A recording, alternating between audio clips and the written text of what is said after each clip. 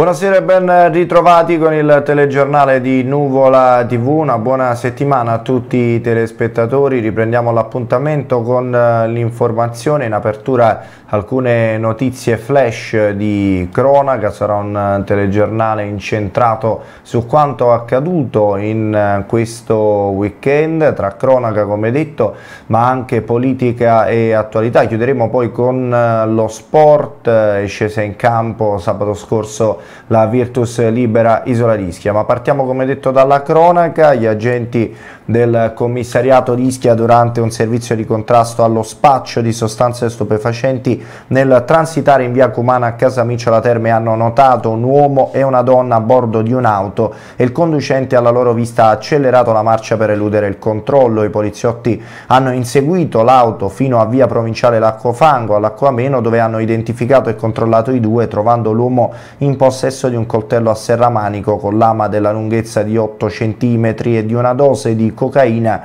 del peso di circa 1,4 grammi. Inoltre presso l'abitazione della coppia hanno rinvenuto in un armadio altri tre involucri contenenti complessivamente circa 34 grammi della stessa sostanza, un bilancino di precisione e diverso materiale per il confezionamento della droga. L'uomo, un 44enne ischitano, è stato arrestato per detenzione ai fini di spaccio di sostanze stupefacenti. E sempre nell'ambito del contrasto alla droga, anche eh, sull'isola di Procida c'è stato un importante intervento, in questo caso dei carabinieri hanno 16 e 17 anni e quando i carabinieri con il personale dell'ufficio circondariale marittimo li hanno visti si pensava stessero pescando, ma in realtà non era così, o meglio l'obiettivo di due non era trovare frutti di mare o eh, pesci di altro genere. Ci troviamo a Procida nella località Puntafaro, i militari della locale stazione eh, stanno effettuando un servizio di controllo del territorio. Da lontano due ragazzini che si sporgono sulla banchina come a prendere qualcosa in acqua, chi li vede si preoccupa, quei due ragazzini potrebbero cadere e si decide allora di avvicinarsi. I minori che sono del posto incensurati alla vista dei carabinieri vanno nel panico, tra le mani hanno qualcosa, i due avevano appena recuperato in mare una busta con all'interno 4 tavolette di hashish per un peso complessivo di 400 grammi. Gli accertamenti dei carabinieri, gli smartphone dei giovani sono stati sequestrati, hanno permesso di accertare come i due sapessero di quella busta in mare del suo contenuto. I minorenni sono stati denunciati per detenzione di droga a fini di spaccio e consegnati ai rispettivi genitori, sono in corso le indagini. Apriamo la pagina dedicata alla politica e all'attualità, domenica si è tenuta la cerimonia di inaugurazione del centro polifunzionale Giovanni Paolo II di Fiaiano. I lavori di ristrutturazione che hanno interessato il complesso sono stati realizzati con fondi del Ministero dell'Interno, 100.000 euro, e con residui di precedenti mutui per un importo complessivo di 250.000 euro, grazie ai quali sono stati rinnovati i locali interni posti eh, sotto le tribune ed il campetto. Il complesso sportivo è stato dato in concessione alla Body Ballet Dance di Paolo Massa il sindaco di Barano Dionigi Gaudioso ai nostri microfoni ha commentato la nuova apertura del centro e le opere che la sua amministrazione sta portando avanti per le strutture sportive e le aree giochi destinate ai giovani. Ascoltiamo l'intervista. Sindaco Dionigi Gaudioso, un po' di attesa ma alla fine viene inaugurata questa struttura che riporta nuovamente uno spazio di socialità alla comunità di Fiaiano. Ma oggi è un giorno importante non solo per Fiano e per il comune di Barana ma penso per l'intera isola perché abbiamo ripreso una struttura importante, il comune ha speso più di 250 mila euro per metterla a posto, purtroppo per la burocrazia ci è voluto un po' di tempo per partire tra gare, ricorsi e vari problemi ma oggi guardiamo avanti, c'è un'associazione consolidata che da più di 30 anni è presente sul territorio ischitano e che l'ha vinto la gestione, quindi parliamo di Paolo e Anna Massa eh, già si è avviato tutto, le due salette della palestra sotto le tribune già stanno funzionando alla grande, quindi da domani si partirà anche col campo. È una cosa importante eh, dare possibilità ai giovani, ai ragazzi di avere spazi a loro disposizione nel miglior modo possibile, veramente per me è un giorno di gioia, ripeto, per tutti quanti, non solo per il comune di Barana ma un po' per tutti. Ah, certamente, io l'ho detto già prima, chi è del posto viene sul posto, vede i risultati che sono sotto gli occhi di tutti. Noi abbiamo fatto un intervento, forse uno dei più importanti nella, probabilmente nella provincia di Napoli, intervento di 500.000 euro di riforestazione, taglio di pini secchi, c'è ancora qualcosa ancora da fare, ma 1500 piante tagliate, cioè 1500 piante piantate più l'irrigazione, quindi siamo pronti anche a un'eventuale estate torrida eh, per contrastarla quindi con l'impianto di irrigazione. Questo è diventato la pineta diciamo, un grande punto di aggregazione per i ragazzi, noi abbiamo un chiosco che funziona benissimo, un parco giochi libero per i bambini e dei percorsi che sono ancora di più migliorati, veramente bellissimi, quindi io mi aspetto grandi cose per l'estate in questa zona. E per quanto riguarda il campo Don Luigi Diorio col PNR abbiamo, un, abbiamo preso un finanziamento di più di 600 mila euro, quindi verrà rifatto il tappeto perché ormai era usurato e se tutto va bene nel giro di qualche mese inizieremo i lavori, si deve fare solo la gara e aggiudicare la gara, quindi un altro passo avanti sempre a favore dei giovani perché io l'ho detto già prima, i giovani sono come le piante, più si curano, più crescono bene e più vanno avanti bene, quindi dobbiamo cercare i cittadini del futuro di stare accanto a questi ragazzi per farli crescere nel miglior modo possibile. Certamente noi non possiamo pensare solo a calcio, l'ho detto dall'inizio, quindi eh, a parte la palestra che ormai là ci sono mm, più di 150 iscritti per il basket, poi si fa anche la pallavolo, ma a giorni verrà inaugurato anche a Piedimonte a Matarace un campo playground libero, quindi messo a disposizione dei ragazzi dove si potrà fare basket, pallavolo o calcio proprio per diversificare, quindi stiamo cercando di andare incontro ai giovani nel, mm, con tutta la nostra forza possibile. Diciamo, questa iniziativa era partita già con la chiesa da qualche anno, se ricordiamo la saletta sotto la chiesa a Fiana Antonia Spedicata, un'altra ragazza di Fiano venuta meno prematuramente e anche questi ragazzi, quindi è giusto che si devono ricordare, è giusto che i ragazzi quando si vengono a divertire vedono queste scritte all'ingresso e quindi si ricordano di loro fratelli o di loro sorelle che sono purtroppo scomparse prematuramente perché noi non ci dobbiamo dimenticare di disgrazie che abbiamo avuto. Danza, fitness, spinning e calcio a 5, il nuovo centro Giovanni Paolo II inaugurato dalla nuova gestione di Paolo Massa e dalla sua Body Ballet Dance abbraccerà diverse discipline sportive dopo diversi anni di inutilizzo. Come abbiamo visto la struttura è stata interessata da lavori e dopo una procedura di gara è stata affidata alla nota associazione sportiva che ha voluto apportare migliorie alla struttura. La sala danza, la sala fitness e il campo sono tra l'altro intitolati a tre giovani schitani che non ci sono più, Artemisia Massa, Paolo Scaglione e Flavia Boccanfuso. Nel servizio le parole di Paolo Massa. Finalmente ci siamo, veramente è stato un calvario perché come dicevo prima e adesso in questo momento l'edilizia è difficile anche trovare un manuale, quindi rimettere insieme una struttura come questa che poi tra l'altro sarebbe stato meglio forse rifarla da capo che riadattare delle situazioni è stata una bella impresa, però ce l'abbiamo fatta dai.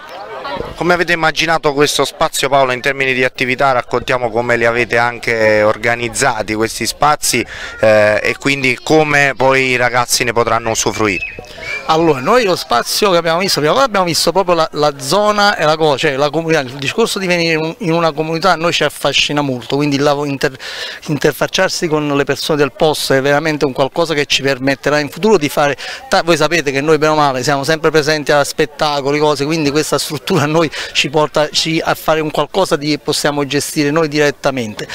L'idea è stata quella di renderlo più polifunzionale perché in effetti qui c'erano molti spogliatoi ma una palestra molto piccola e quindi abbiamo adattato un po' tutto e farla diventare un po' più polifunzionale creando una terza sala, allargando la sala che c'era precedentemente che era molto piccola e rendendo un po' anche più funzionalità, abbiamo creato anche degli spazi anche di condivisione con le persone, qui chi giocherà a calcetto c'è un luogo dedicato dopo la partita, metteremo anche goal, quindi i ragazzi avranno modo di vedere le partite, di rivedersi la partita, azioni, noi cerchiamo di creare quello che un po' è stata sempre la famosa body ballet dance family, allargarla ancora di più. La terza sala dove nasce come sala pesi, però a parte che oggi è un mercato anche abbastanza inflazionato, ce ne sono parecchie di sale pesi, quindi abbiamo provato anche lì a portare qualcosa di nuovo dallo spinning e sarà poi quella anche una sala multifunzionale. Paolo, tante sale intitolate a tanti giovani che purtroppo eh, non ci sono più ma che raccontano una storia e rappresentano un esempio per i giovani che verranno in questa struttura.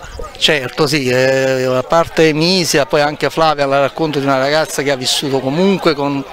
tanto amore dei genitori, nonostante diciamo, sue, la sua disabilità, era comunque un esempio di forza per noi e poi al di là di tutto io verso Flavia, verso Domenico veramente c'è un, un, rapporto proprio così perché Domenico ci ha salvato, lui era della body ballet che quando abbiamo avuto i problemi lui ci ha ospitato a braccia aperte e quindi per noi Flavia è stata veramente un vero angelo per la body ballet dance. Paolo vabbè, a prescindere che non rimasi colpito perché quando muore un ragazzo giovane in quel modo, cioè tu comunque per noi che già avevamo provato provato un dolore, quindi io a Pietro e Antonella è stato,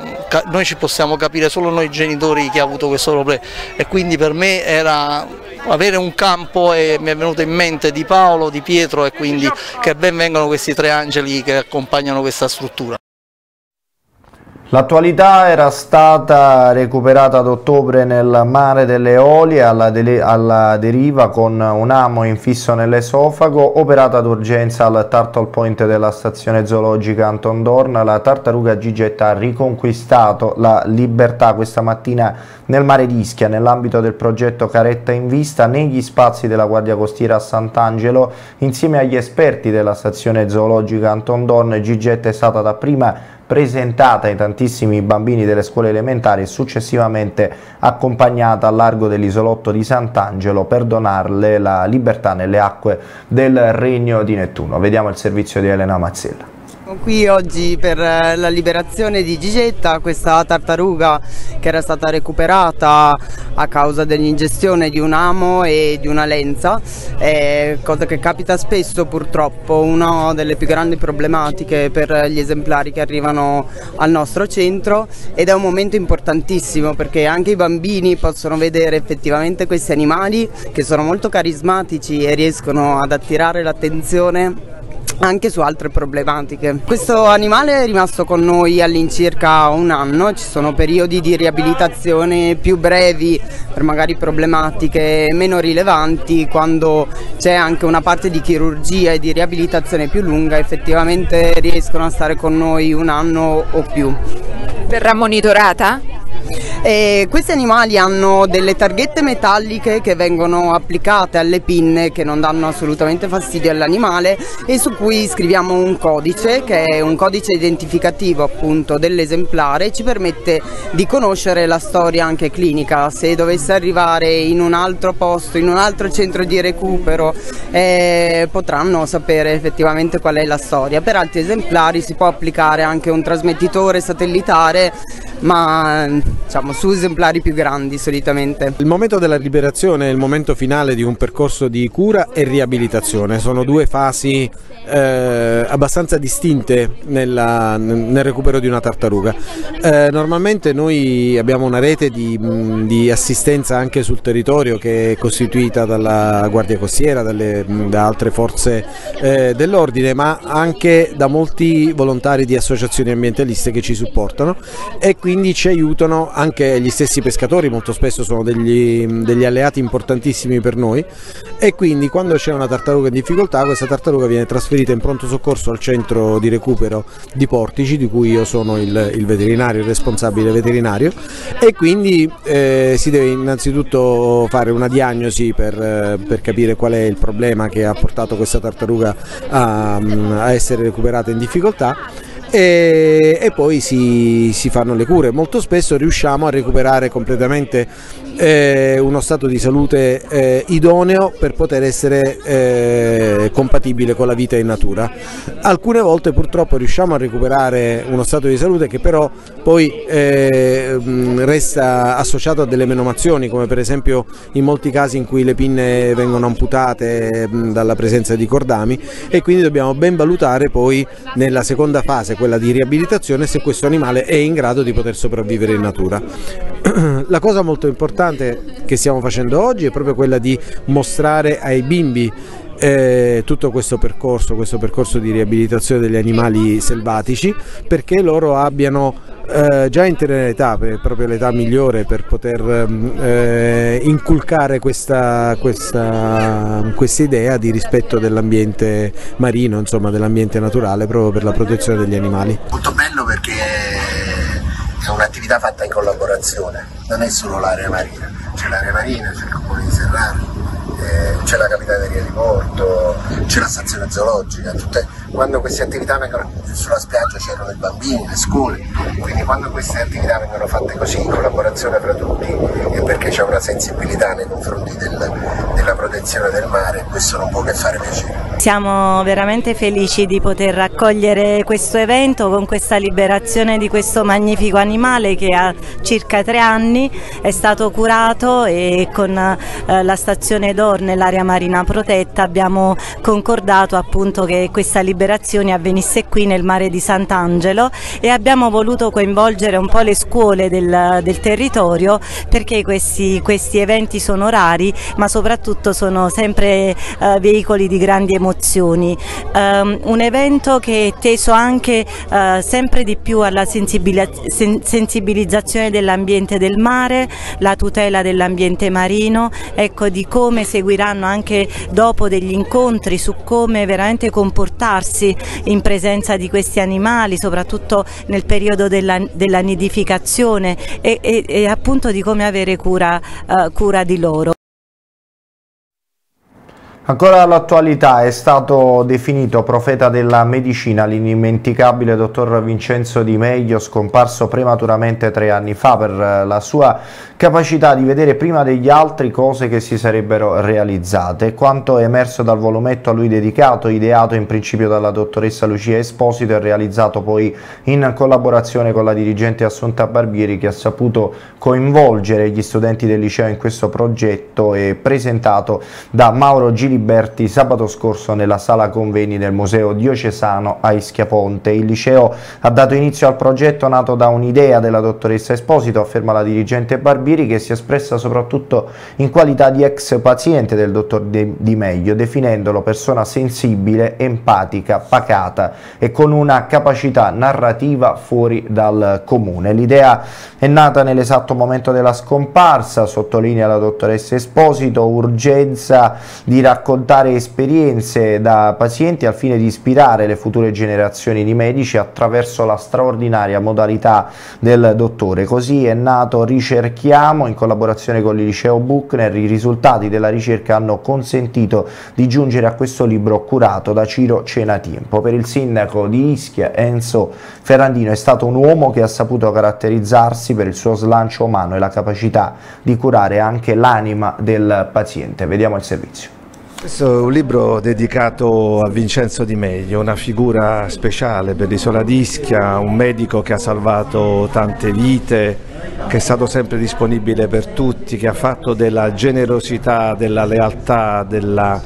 disponibilità e della ricerca continua il suo modo di essere sia uomo che medico. È una figura indimenticabile, dedicargli questo libro al termine di un progetto che è cominciato nella scuola, nel liceo classico di Ischia, è come dire il minimo per ricordarlo ma soprattutto per investire nel futuro attraverso la sua memoria sulle nuove generazioni, sui ragazzi che frequentano le scuole superiori, su quelli che andranno all'università e vorranno fare il medico. Questa è la mission di questo libro e noi ci siamo dedicati, noi tutti, io che ho curato questo lavoro, con grande amore, con grande passione, per quanto mi riguarda nel segno di un'amicizia straordinaria con Vincenzo. Vincenzo non aveva segreti, aveva la disponibilità e ripeto la generosità e soprattutto sapeva parlare con i pazienti pazienti per ore per metterli a proprio agio, era ehm, in grado di analizzare tutto il corpo e anche la mente dei suoi pazienti, sia come specialista oncologo e chirurgo sia come medico di base perché si è dedicato sempre alla gente dell'isola d'Ischia e non solo dell'isola d'Ischia perché ha operato anche altrove. E soprattutto aveva un riferimento appunto come si dice olistico nei confronti della medicina e della cura e lui si prendeva cura di tutto il corpo e dell'anima dei pazienti, questo era il suo modo di essere, sempre orientato tra l'altro alla ricerca, ricerca che ha continuato per tutta la vita, soprattutto in riferimento al Johns Hopkins Uh, University Institute di Baltimora negli Stati Uniti con i quali ha mantenuto un legame continuo. Quindi la ricerca e la disponibilità, l'affetto e la passione, queste sono le caratteristiche di un uomo popolare al quale rendiamo omaggio. Oggi siamo qua per eh, presentare questo libro, testimonianze dei pazienti del dottore Vincenzo Di Meglio, che era un medico e cittadino di Barano, quindi uno dei cittadini illustri del nostro comune, che ha fatto tanto per la fascia debole non solo per il comune di Barano ma per tutta l'isola d'Ischia. Sappiamo che chi andava in difficoltà per quanto riguarda eh, parliamo di malattie oncologiche, lui era esperto, de, eh, un senologo, trovava sempre la porta aperta con il dottore che lavorava H24 a, non eh, veramente disponibile per tutti, quindi penso è una giornata importante ed è giusto ricordarlo. Lui era uno studioso, lo sappiamo tutti, teneva questa passione per lo studio che poi ha portato nella medicina e eh, fortunatamente ha aiutato tantissime persone. Purtroppo ritengo che è morto prematuramente perché poteva dare ancora tanto eh, nel nostro paese, non solo, anche se dobbiamo ricordare che lui ha cercato di eh, spesso spingere sulla prevenzione, quindi è una cosa che noi dobbiamo fare come comune stiamo cercando di fare, abbiamo fatto più volte delle iniziative sulla prevenzione ma dobbiamo continuare tutti in questa direzione. A Roma, presso la Santa Sede, il giorno 17 maggio alle ore 9, il Comitato Nazionale per le celebrazioni dedicate ad Enrico Caruso, presieduto da Franco Iacono, è stato ricevuto da Papa Francesco. È stato un onore poter illustrare al Papa l'attività del Comitato Nazionale in questi due anni, dichiara il Presidente Iacono ci riempie d'orgoglio l'apprezzamento del Santo Padre e la cordialità con cui ha accolto la delegazione degno suggello al 150 anniversario della nascita di Caruso. Guardiamo il servizio. Presso la Santa Sede il 17 maggio 2023 alle ore 9 il Comitato Nazionale per le celebrazioni dedicate ad Enrico Caruso presieduto da Franco Iacono è stato ricevuto da Papa Francesco. Al pontefice appassionato di musica classica è stata donata la Bohemia Acto I, l'astra originale dell'edizione musicale Ricordi, riduzione per canto e pianoforte con testo spagnolo della Bohème di Giacomo Puccini del 1903 consegnata per l'archivio storico Ricordi dal direttore Pierluigi Ledda. Al Santo Padre, che ha benedetto i membri del comitato, sono stati regalati anche i complete recordings di Caruso in CD, preziosa edizione Naxos e una ricerca curata da Laura Valente sulla presenza di Enrico Caruso in Argentina, oltre che la biografia di Pietro Gargano dedicata al grande tenore. È stato un onore poter illustrare al Papa l'attività del Comitato Nazionale in questi due anni, dichiara il presidente Franco Iacono. Ci riempie di orgoglio l'apprezzamento del Santo Padre e la cordialità con cui ha accolto la delegazione, degno suggello al 150 anniversario della nascita di Caruso. Fra i presenti anche Franco Moretti, direttore generale del Festival Pucciniano di Torre del Lago, e Stefano Pozzoli, amministratore del Comitato Nazionale. È stato un grande privilegio essere ricevuti da Papa Francesco Credo che Enrico Caruso meritasse questo ulteriore omaggio. Il Papa, grande appassionato di musica classica, ha molto apprezzato i doni che gli abbiamo portato, a cominciare da un cofanetto di CD con le più importanti interpretazioni del grande tenore, insieme alla biografia scritta dal nostro Pietro Gargano. Chiudiamo con eh, lo sport, calcio a 5, una partita letteralmente stregata, la Virtus Libera cade nella gara di andata della finale playoff subendo 5 reti da una canottieri Belluno cinica e diligente in fase difensiva. Per gli isolani che giocano una buona gara resta il rammarico di non aver concretizzato le numerose palle gol costruite per sfortuna e per bravura del numero 1 ospite dalla Libera in alcuni frangenti della la gara davvero insuperabile. Il sogno a due per mister Di Costanzo ed i suoi ragazzi si complica, ma il gruppo bianco-verde nel corso degli anni ci ha insegnato che nulla è impossibile, anche le imprese più difficili. Gara di ritorno sabato prossimo in Veneto, intanto ascoltiamo le dichiarazioni post partita di mister Di Costanzo. Sapevo che il Bellone era una squadra cinica, voglio dire, mh, mm, avevo sottovalutato il loro tasso di fortuna, però noi non siamo stati capaci di, di fare gol nei momenti importanti, nei momenti decisivi e in alcune occasioni abbiamo peccato un po' troppo di presunzione per cui loro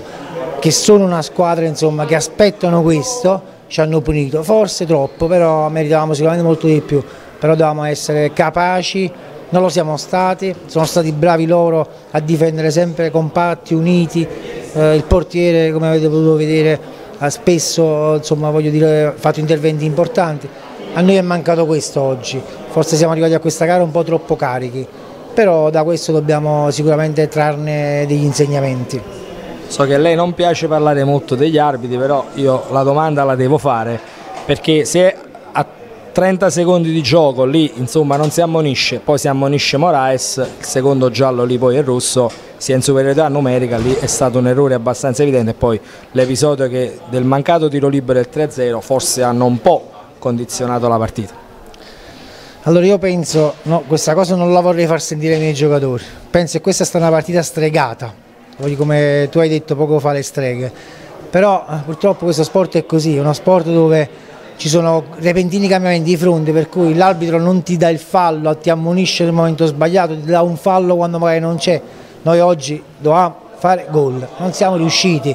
voi per i pali, voi per le traverse, voi per la mancanza dell'ultimo passaggio, spesso abbiamo peccato di presunzione giocando con troppe individualità e quindi 1-0, 2-0, 3-0 diventa sempre più difficile con una squadra che ne fa della difesa la loro ottima arma. Insomma. Poi nelle poche occasioni che hanno avuto da gol sono riusciti a farci gol magari in contropiede, quell'altra occasione quando ci aspettavamo un fallo ma che l'arbitro non ci ha dato, quindi è vero, io non parlo mai degli arbitri, non credo che loro possano determinare diciamo, una gara, forse oggi ci è mancato qualcosa sia da parte nostra sia da parte della direzione arbitrale. Io, oggi l'unico vincitore di questa partita è il Belluna, che è venuto qua a fare la, la, la solita gara e noi non abbiamo fatto la nostra solita gara. E in vista del ritorno del secondo tempo, come si recupera una partita? Bisogna segnare quattro reti perlomeno per andare ai supplementari. Ma io non posso, io sono sempre fiducioso perché noi siamo una squadra che abbiamo delle grosse capacità realizzative. Oggi non ci siamo riusciti, magari ci possiamo riuscire la settimana prossima. Eh, l'impresa è ardua, ma come dire, la storia è fatta di utopie che si sono realizzate, no? Eh, quindi se la settimana prossima andremo a Belluno, come siamo andati a Messina e facciamo una partita, diciamo, questo sport ci vuole poco per eh, ribaltare il risultato. Difficile perché loro hanno dimostrato oggi fuori casa con questa bellissima cornice pubblico di, una, di essere una grande squadra, però noi andremo a Belluno per giocarci la nostra partita. In settimana lavoreremo sugli errori che abbiamo fatto. Certo non puoi lavorare contro il palo, l'attraverso, contro la decisione arbitrale che è mancata, però sicuramente dovremo lavorare su quella carica emotiva che è stata un po' troppo influente oggi in questa gara. Mister, per quanto riguarda noi la chiusura, una battuta su questo pubblico oggi veramente sold out a tutti i livelli, ci voleva un altro palacasale per contenere tutte le persone, forse magari questo ha dato troppa emozione in più rispetto diciamo, alle gare normali, perché poi ricordiamo il Belluno milita da anni tra la 2 e la B, forse sono arrivati con più esperienza rispetto a noi. No, vabbè, io penso che oggi il Belluno mm, ha fatto una buona partita, il portiere ha fatto molti interventi decisivi nei momenti importanti. Eh, certo è una squadra che è esperta, eh, non ha mh, mm, paura a giocare davanti a un pubblico che oggi è stato bellissimo, eh, anzi mi dispiace, veramente mi dispiace molto per il pubblico che oggi voleva assistere a una bella manifestazione, ma credo che il pubblico in, in un certo modo si sia divertito. Non dobbiamo dimenticare quello che abbiamo fatto fino adesso, non, questa sconfitta sicuramente non deve cancellare quanto di buono questi ragazzi hanno fatto fino adesso, è una finale si sa e quindi le finali si possono vincere e si possono perdere, ma è finito il primo tempo, siamo 5-1 per il Belluno, faremo il secondo tempo, vincerà il Belluno, vincerà il Forio, non lo sappiamo, ci prepareremo questa settimana, affronteremo questa trasferta e daremo sicuramente il meglio di noi stessi, continueremo almeno il percorso che abbiamo intrapreso da quando sono io in questa squadra, poi non posso fare altro fine partita, vinciamo o perdiamo, di fare un plauso a questi ragazzi che comunque io credo che siano arrivati molto in alto. Prima di salutarci come sempre diamo uno sguardo alle previsioni meteo.